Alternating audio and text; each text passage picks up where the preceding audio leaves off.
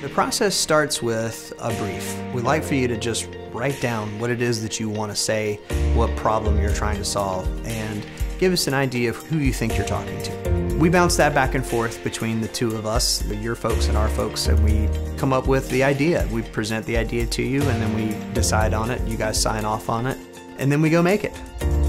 When we have a client, that client is the only client we have in that mindset of we are wanting to do everything we can to help them achieve their goals. We can help our clients from start to finish in the creative process, help them develop their strategy, help them execute their strategy, and ultimately see their business prosper.